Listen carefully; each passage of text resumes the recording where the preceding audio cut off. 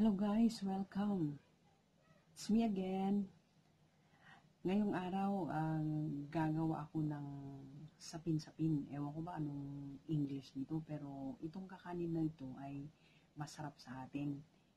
Ah, may may kulay-kulay siya, may kulay na tatlo. Maglalagay ako ng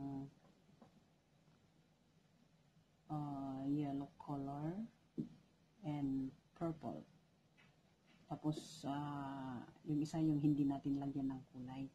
So, guys, ito ang aking mga gagamitin. Meron akong glutinous flour dito. Oops, nahulog.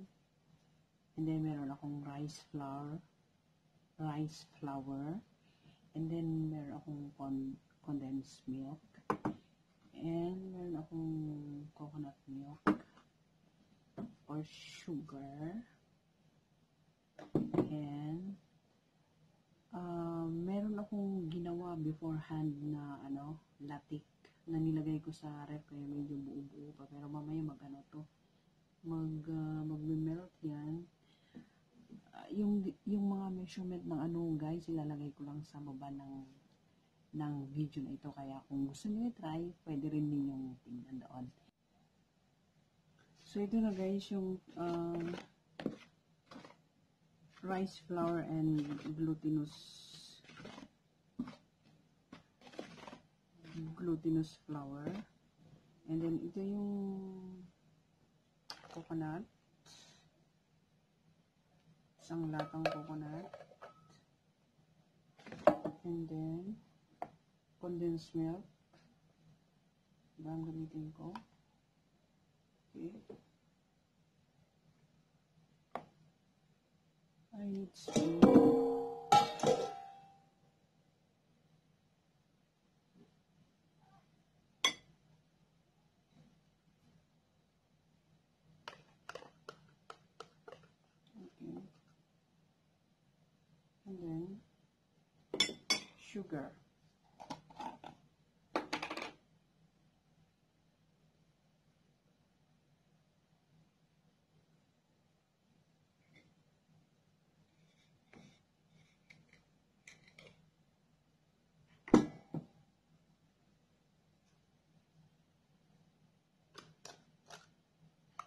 Okay.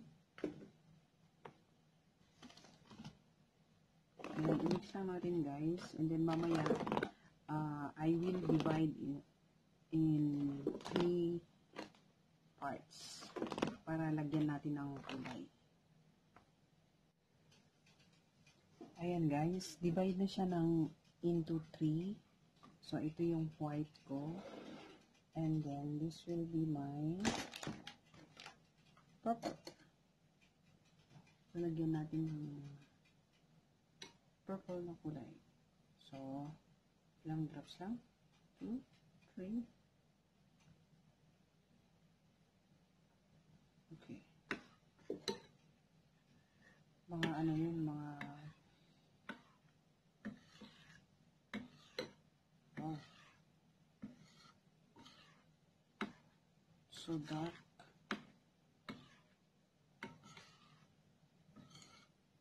Mga 1 teaspoon yung nalagay na kulay ng purple natin. So after that, this will be our and this will be our kulay yellow. So one, two, three, and a little bit more.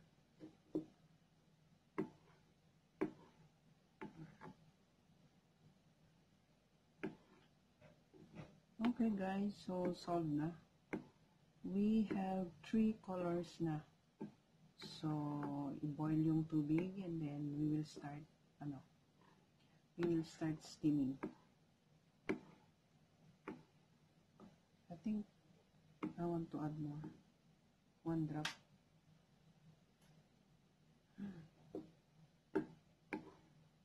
Gusto ko yung medyo, ano yung gulay. Okay. Okay guys, steam natin. I-boil yung tubig And then, lagyan natin dito sa dito stick. Ang gagamitin kong pag-steaman o nilagay ko na yung ano, yung um, oil mula sa latik na ginawa ko beforehand. Yan. Nagnalag na siya. Kumuha ako ng yung, yung white white. Yung mga oil niya.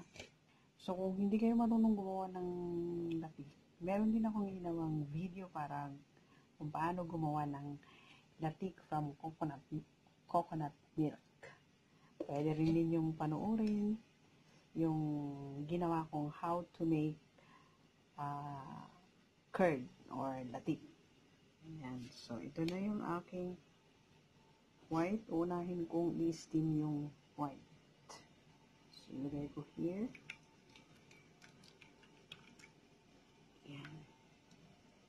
And ang aking steamer ay nag-boil na. So, lalagay ko na doon.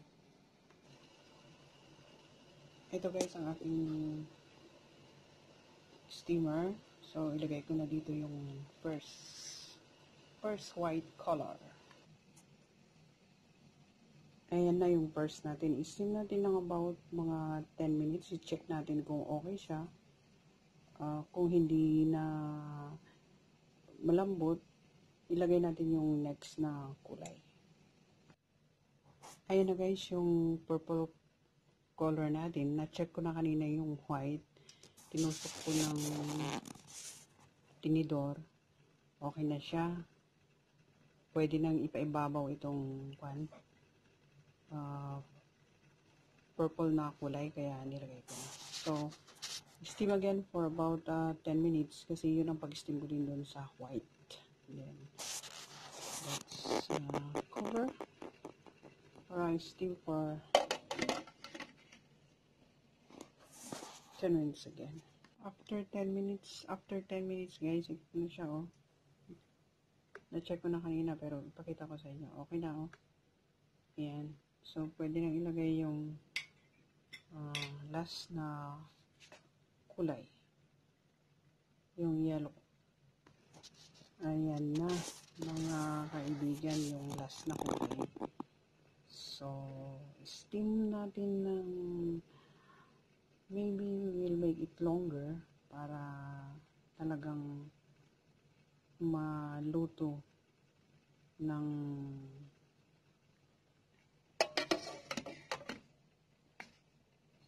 maigi. Maybe mga 20 minutes para maluto ng Okay, after 20 minutes, balikan natin. After 20 minutes guys, ito na yung ating yellow, yung last color. So, let me check. Okay na siya. Hmm. Wala nang sumasama dito sa tinidor. Pero may, oh, okay na. So, pa-cool down natin, palamigin natin and then, ilagay natin yung ano, yung latik natin. Okay. Sarap ng amoy, guys. Hmm.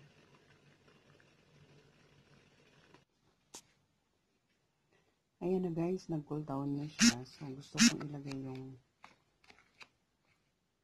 ilagay ko na yung toppings na latik. Ayan.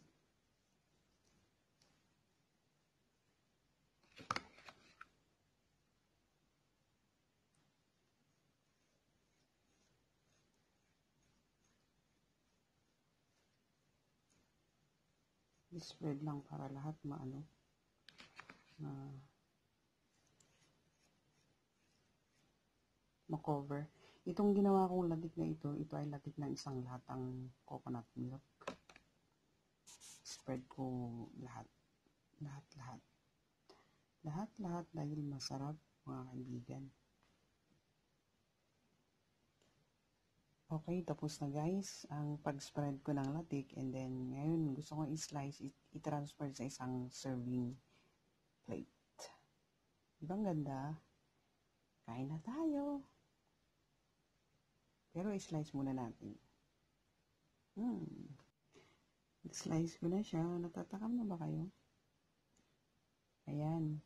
Nakikita nyo yung ano ng pang-slice ko? Ah. Hmm. Sarap ng bango.